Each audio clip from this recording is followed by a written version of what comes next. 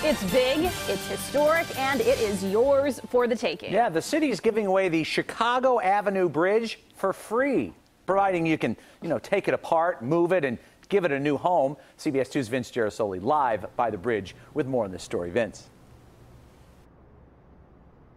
Rob and Erica, how'd you like a bridge for free? I know it sounds like a comedy routine, but this is the real deal.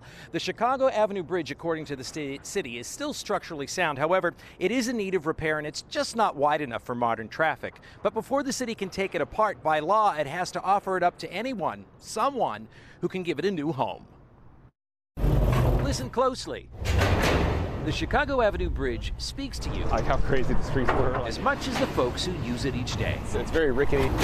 I usually put my phone in my pocket when I'm walking across it because I'm afraid I might like lose it in the bounce. The bridge was built in 1914 when it and dozens of others had to make way for the industrial traffic crowding the river beneath. It lifts up. Travel to its underbelly and you'll find the gears and counterweights that can set it in motion, a design known as bascule. The bascule is a French word for teeter-totter. Just like you getting off of the teeter-totter, it goes like this up and down. The Chicago Architecture Foundation says the city is home to 42 bascule bridges.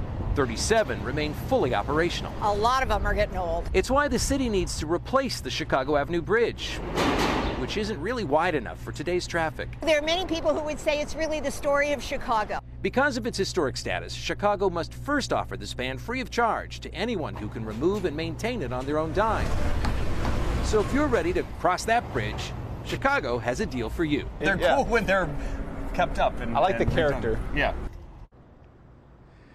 Now, this isn't the first time that the city has offered up a bridge free of charge. You might remember a few years ago, the Diversey Avenue Bridge was offered up before it was replaced. No one came forward then.